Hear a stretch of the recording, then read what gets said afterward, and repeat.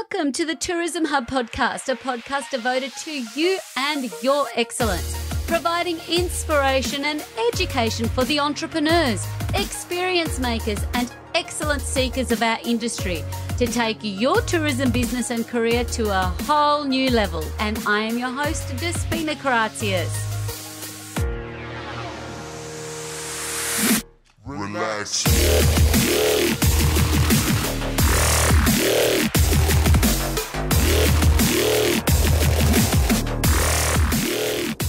Well, hello everyone, and welcome to Tourism Hub. My name is Despina Karatzias. I will be your host, and with me today, I have a very, very special guest.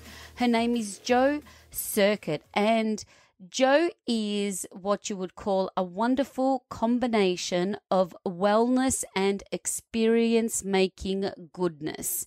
What I love about Jo, she really walks the wellness walk.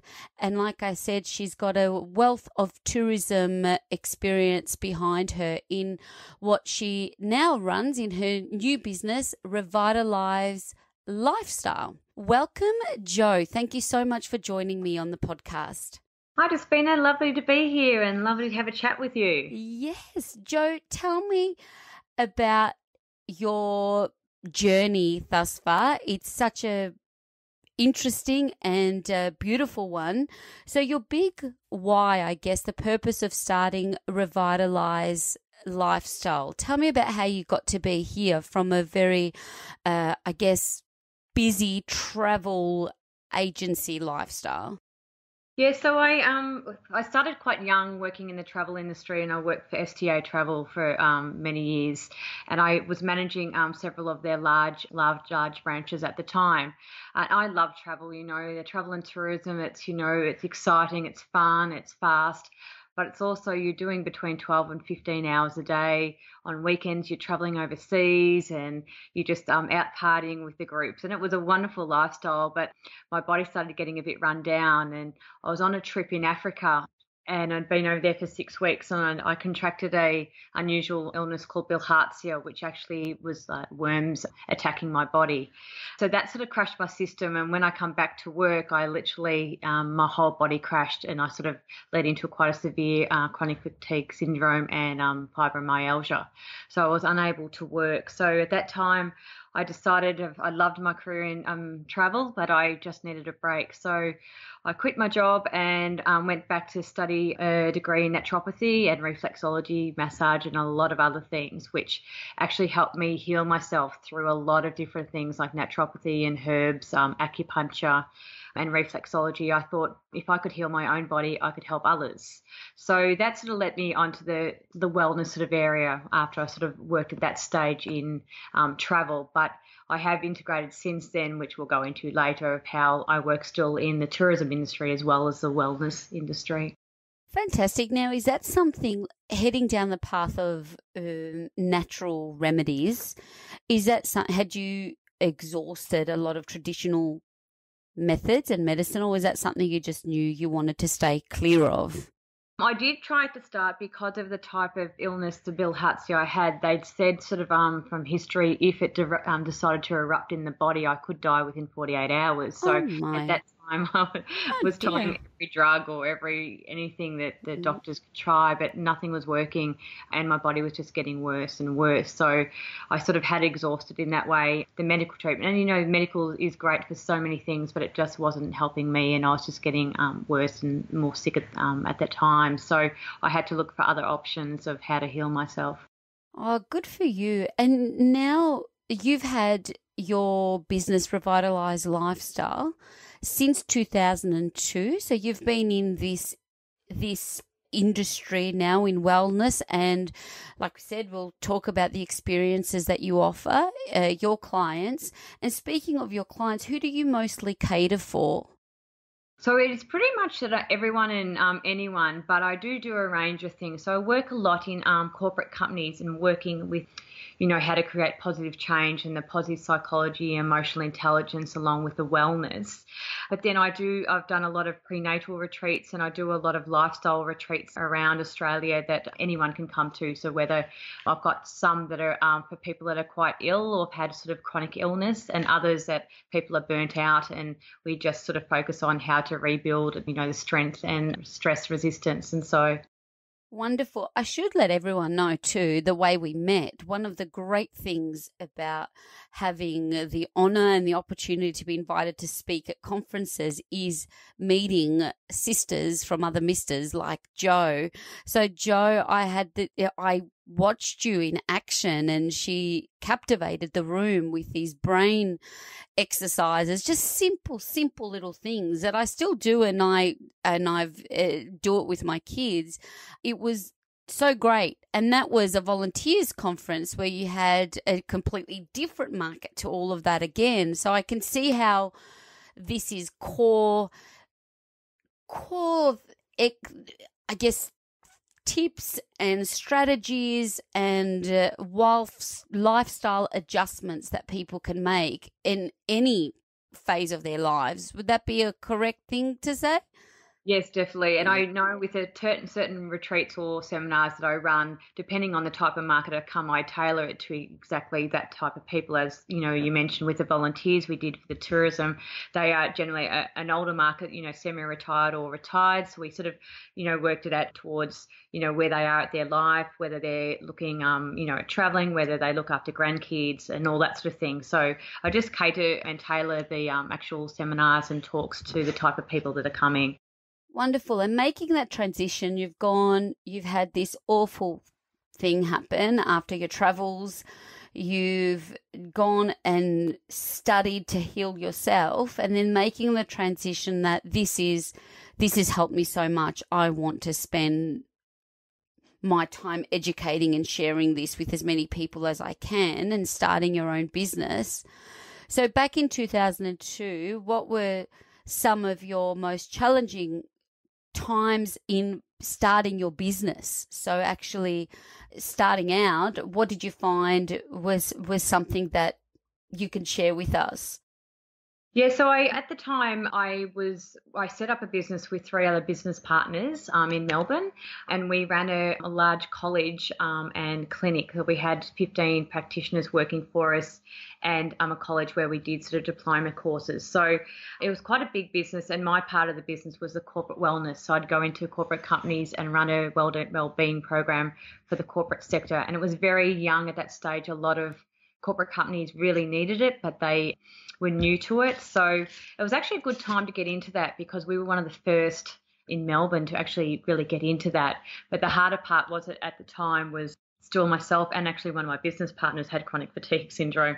So we could do lots of work, but then we'd have to rest for a little while and things like that. So, but having our other two business partners there to help us and assist us along that way was great. But yeah, I think the challenges of with that business, we decided to sell that because I, well, we actually all moved to different parts of the world, and I decided I was getting quite burnt out and I wanted um, a break from the busy Melbourne life. So I actually sort of um, packed my bags and moved to Anglesea by myself with, you know, no house and no friends and no job and felt like I just needed a bit of a break and yeah, decided to sort of like relocate myself to the surf coast and reevaluate what I wanted to do with the wellness area. And because I missed the tourism part so much, I actually incorporated by working at the visitor centre in Torquay. So I was still working at promoting um, the Great Ocean Road and the Surf Coast, but was also being able to do my wellness business as well. So I sort of did both at the same time, which I loved. Excellent. Now, with that, when you made that decision to sell, what was it? How did that come about? Or the the aha moment that you must you may have had that this isn't for me and I want to have a sea change because that's a big move again after starting it and it seems quite successful uh, with the college and deciding to sell it.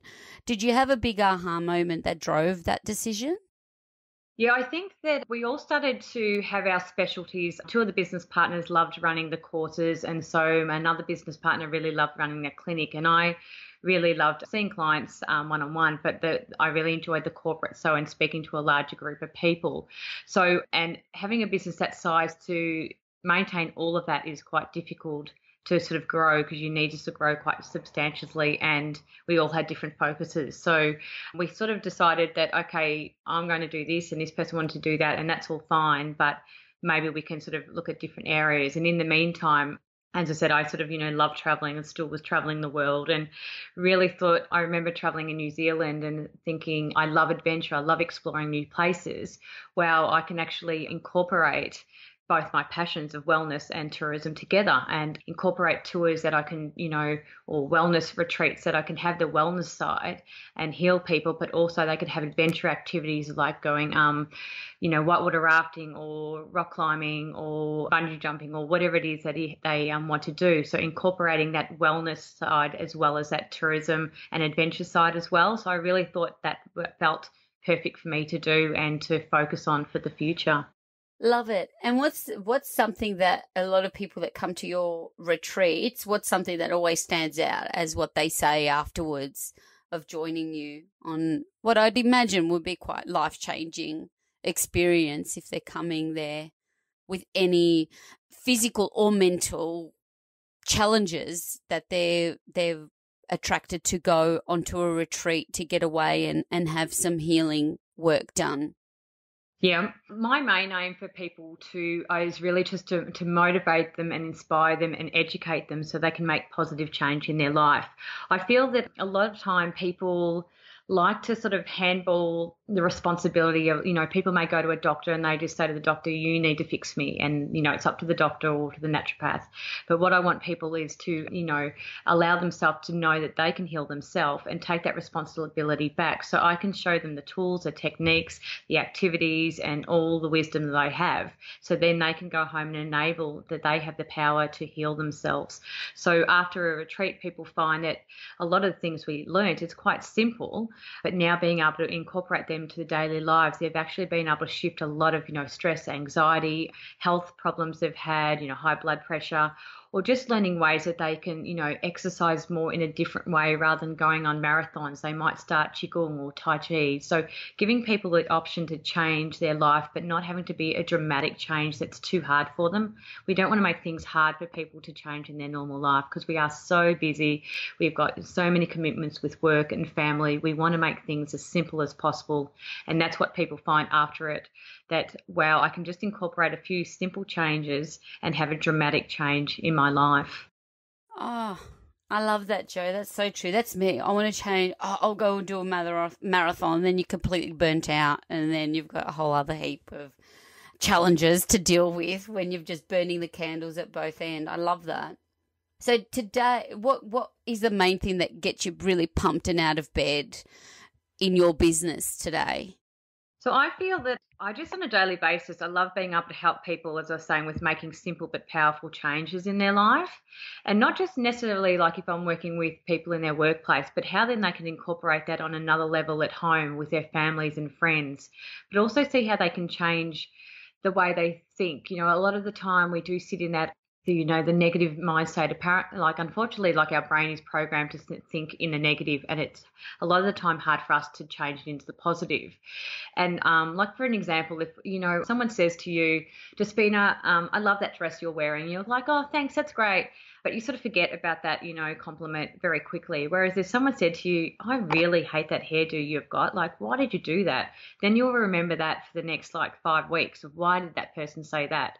So hmm. we also, like, it's one of those things that we forget how when people compliment us or when we've had a success or we've done something really well, we sort of forget or we only celebrate them for a moment. Whereas if it's a negative thing, we sort of sit and dwell on that for way too much time. So I love that in my daily life, I can show people how to change that mindset into the positive so we then don't actually automatically go to that negative and think of the good things that are going on in our life.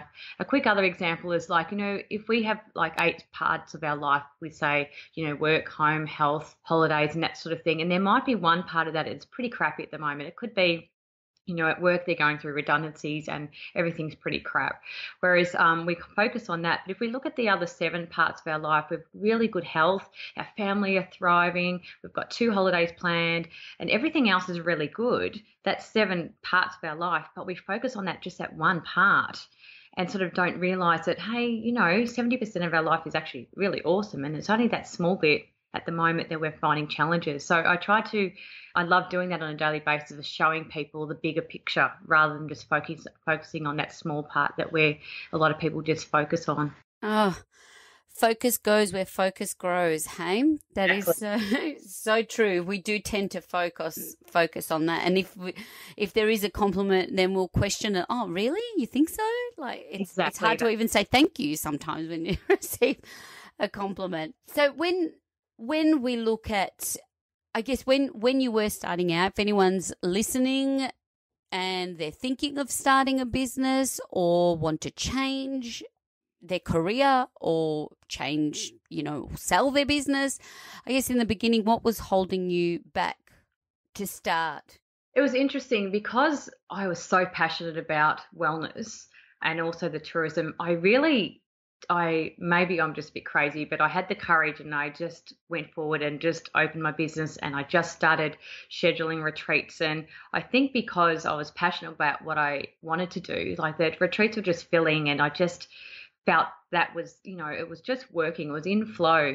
The things i find was ch- like challenging i still do now i have two young ch- children a three and a five year old so finding that balance without i have so many ideas and things i want to do but i could have to at the moment you know just balance it a bit. So not do as much as you know i would like to in the future. So but i think if you have the passion you feel like that you can create something fantastic you just want to you know try something new I say just go for it. I mean, of course, you've got to evaluate, you know, costs and, you know, leaving a paid, secure job to doing something of your own. But again, you know, life's always a gamble, and you know, maybe you can start doing it on a part-time basis, which I um, had done at the start as well.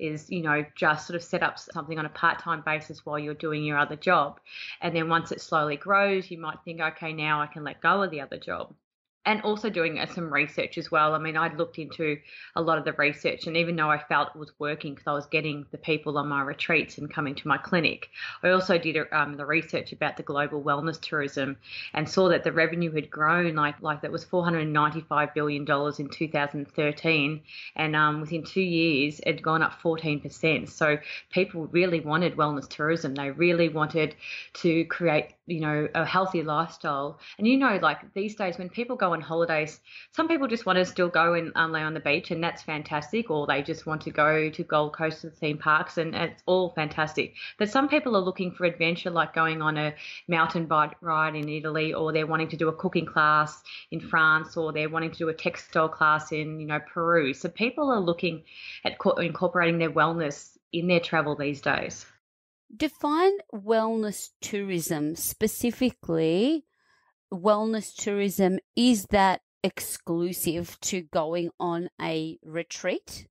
No, so definitely it also includes the, all those sort of active and adventure courses and you know tours as well. So that it, and it also sort of incorporate if you go on a you know food and food adventure in Italy and things like that. They incorporate that, but it also, which is not my area, but they also include, you know, how big, um, you know, plastic surgery or dental work over in Vietnam or Thailand or Bali is becoming as well. So they include that as well. But I think a lot of the market is also the uh, wellness or the spa retreats. So, you know, all the lovely spa resorts they have in Australia and in Bali and Thailand and over in Europe. So the spa resort part is, has brought up that expenditure a lot as well because everyone really wants to go and somewhere they can have a massage and a facial and have some yoga and you know have some walks and things like that.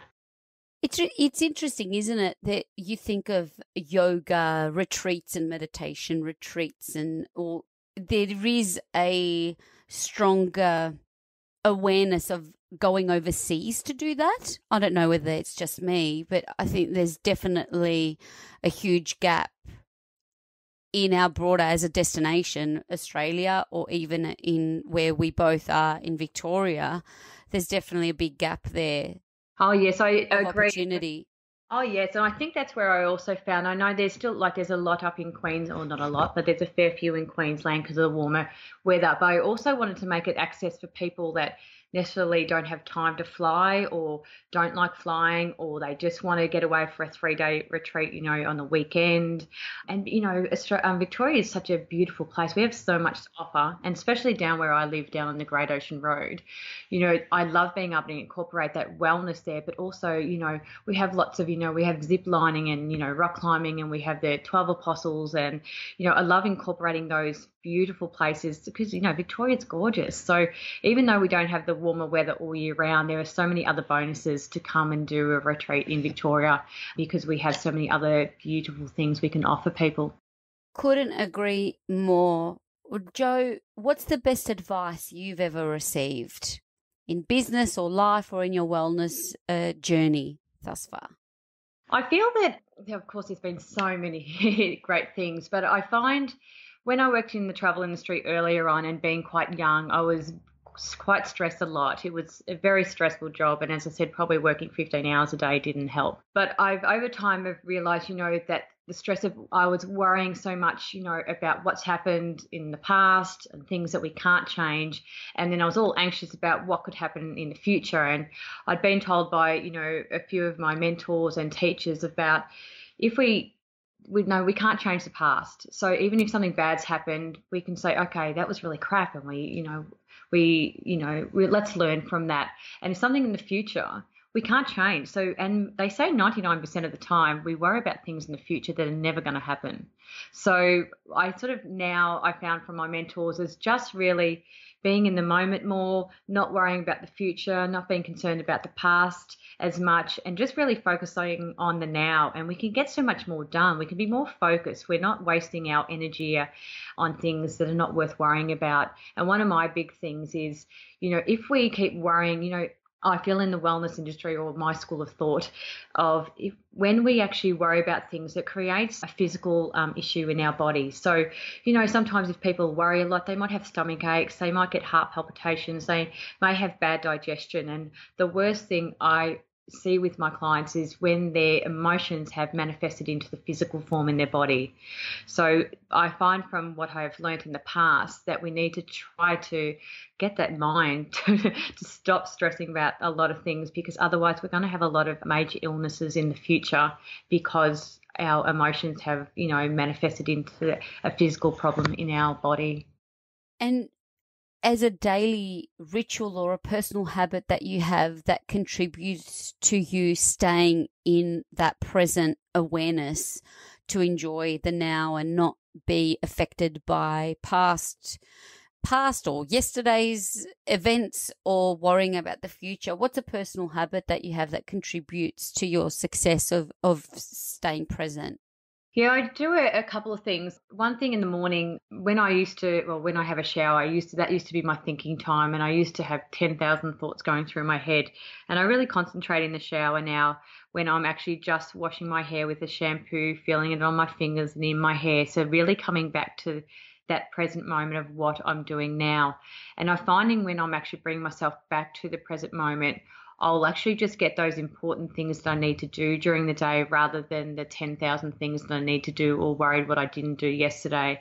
The other one important thing is I find with um, eating, when I'm eating a meal, and this doesn't happen all the time, but when I'm more mindful of eating, I find that, you know, your body can digest the food more. So your body is actually really being focused you know, I'm digesting the food. So it allows my mind to just rest and concentrate on the taste of the strawberries or the granola.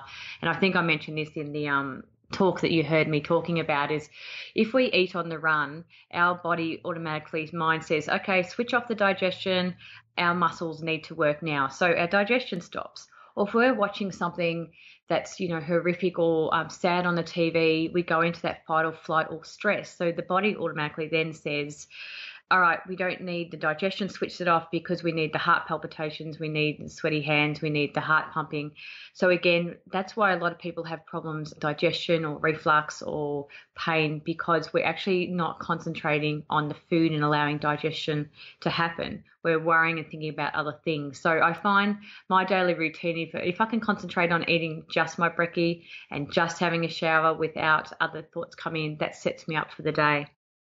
Mm, that's a really important one. If we're all so busy eating on the run, like just take that time out to enjoy your meal and it'll also give you that headspace clarity.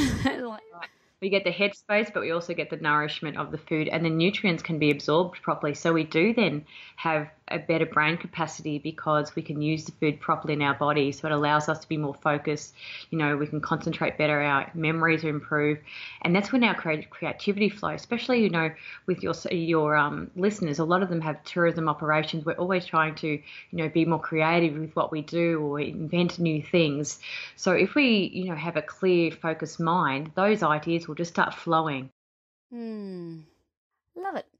And uh, internet resource that is your go to that helps you with your day to day progress or your productivity? Do you have any digi tools that you could share with us that help you with your flow? So recently I've started using sort of OneNote, having everything in one spot, just because my business has so many different aspects to it. I found before, you know, I'd have a notebook for this and a meeting book for this and a diary for this. And I felt that was being unproductive. I was finding I was a bit scattered all over the place. So I find with OneNote now through Microsoft, I can have everything in the same spot.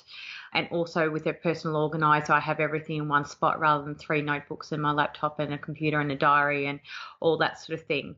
So I find that's really good. And there's a lot of different ones like that as well. Um, and the other one I use a lot is Canva when I'm doing my Instagram posts or um, you know Facebook posts and things like that, I find that's very simple to use. I'm all about being simple, easy, and but having you know something that's really good and can be um, you know shows great pictures and images as well. Love Canva. C A N V A. I'll add that in our little notes when I we we publish this episode. Love it. OneNote I haven't explored or heard about before. OneNote. So that's a Microsoft product. Yeah, it's, I think it's quite new. I've just had a new laptop recently, and it's one of the new programs. So it actually mm. incorporates OneNote. Will incorporate, you know, your Word, um, your Publisher, your Excel, and all your notes sort of in one spot. So you can have it then on your phone, or you can have it on your laptop or your tablet, so you can access your, you know, your notes also from whatever um, device you're using. Wherever you are. That's right. Nice one. Okay, so as we go through our little excellence round now, a book that you would recommend to tourism hubbers and and why? So, as you know, I mean, there's some awesome books out there. yeah. One I've come across re- recently is called Linchpin by Seth Godin. Mm. So, C H P I N. Yeah. Um, have you read that one? Or yes, I have. Yeah. Good so I just love especially the fact of you know being in the tourism area we really always you know need to be finding new ways to you know invent and reinvent our products so we can still continually be the best. And um Seth talks about how we can, you know, become indispensable in our job, whether you work for someone else or whether it's your own business and you want your product to continually to be the best or continually to, you know, progress in the future. So it talks about, you know, loving what you do and being passionate about what you do, but how you can invent or reinvent new ideas for your business, how you can connect with others, how you deal with your emotions and how you relate to other people's emotions, and just how you can, you know, be courageous to just go out there and just make yourself indispensable. So companies feel like they want to keep you. And I talk a lot about that in a lot of my sessions, especially emotional intelligence, about, you know, there's great leaders and and managers out there that are very good with their expertise. They're, you know, probably the best in their field. But now they're bringing that emotional intelligence. If you actually don't have the mind to know how to interact and connect with your staff or know how to deal with your own emotions, then this is where um, people are falling short because they can have all the expertise, but they can't deal with the stress or the resilience or they can't connect with their team and then they're finding there's conflict. So it's coming back to that whole how we deal with our emotions and Seth talks a lot about that in the book, but how we really can become indispensable whether we work for someone else or whether we have our own business and we want to be, you know, successful for a long period of time. Mm, so being a sustainable business, that's uh, that's really important. Uh, so, in going back to even your visitor center, visitor information center days, and dealing with many of the you know tour, tourism operators and accommodation providers what would be your parting piece of guidance for our experience makers? I think working in the tourism um, visitor centre, and also I used to be the executive officer of Wine Geelong, so looked after all the wineries in the region which was great because I ran all the uh, the events in the region.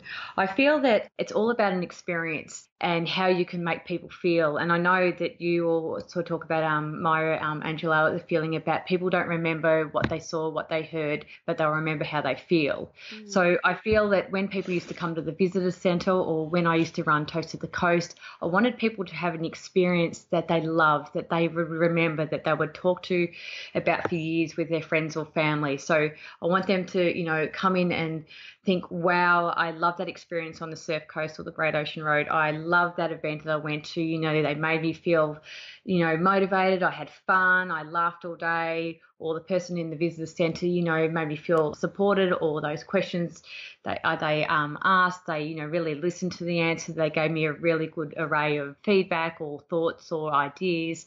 So I really think again, and I know you feel the same way. It's all about how we make people feel and the experience they have when they're with us. And you want it to be a positive and a long, you know, a long-standing feeling. So they'll always think back of you thinking, well, yeah, I remember that person. They made me feel great, or they made me feel inspired, or they made me, you know I felt something different, or you know, I'd never experienced that event or that activity before. Mm. Now, where can we best connect with you? And do you, do you have any retreats coming up? So at the moment, I haven't got any actual retreat like weekend retreats, but I do have a emotional intelligence one day course in Geelong being held on the 8th of November in Geelong. So, this one is a whole day going really into that positive psychology and emotional intelligence for business owners or leaders or people at work that really want to create a better way of working, how they can manage their emotions, how they can connect better with staff, how they can really just get that cutting edge on your business. So, yeah, so that's sort of running coming up soon. Um, the best way to connect, I've got a um, website. It's revitalize with a Z lifestyle.com. Instagram is Jo, J O at revitalize. And I'm on Facebook as Revitalize Lifestyle Retreat. Excellent. I'll add all those in and and also more information about your emotional intelligence full day workshop on the 8th of November. And to finish strong, Miss Jo, uh, your favorite quote of all time. Yeah, so um of course again there's so many. And this one has been quite recent. I was in a conference up in Sydney called Happiness and All Its Causes in June. And I was lucky enough to meet a lovely man called Shamash. And he's all about um, mindfulness, but he does a lot of mindfulness in the workplace. He actually was the one that wrote the Dummies Mindfulness, yeah, the Dummies book on um, Mindfulness in the Workplace. And he has a quote um, that says, Each time something goes wrong, rather than thinking you failed, think you succeeded. And he, in the course of that, he says, see failure and success as fuccess. So he says, um, you know, fuccess is a word that combines failure and success. Each time something goes wrong, rather than thinking you've failed, think you have succeeded because you can only learn from our failures. We don't learn from our successes. So I've always felt that was a positive attitude to, to, failure because, you know, we try things and they don't work. And often we sort of think, oh, we've failed. But, you know, we have to try and try to work out what works. So I've always felt that was, yeah, I like the word we've succeeded. So, yes, we might have failed, but, you know, next time we'll probably succeed because we've learnt that way doesn't work. Oh my God, I love that so much. So instead of going, this is an F up, you say, this is a fuccess. That's right. So you can and you can say that with conviction, and I don't even have to put the little e explicit language. Um, that is that is clever. That is clever because that's so true. It's a gift. It's a gift sometimes too to just because uh, yeah you don't fail you learn. That is a cool one. Thanks for sharing that, Jo.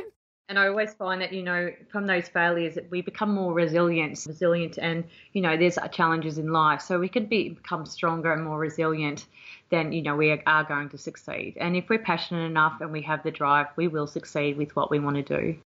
Mm, Very, very true, Jo. It has been a pleasure. I've been really looking forward to this uh, this catch up with you.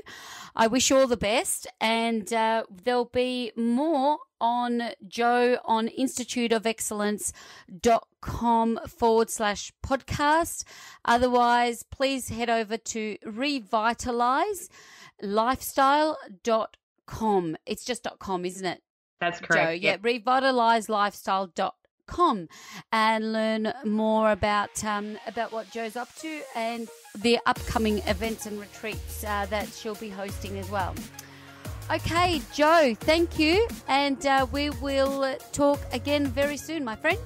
Thank you, Despina. It's been lovely talking to you, and all the best with everyone that's listening with their business. Thank you. Wonderful.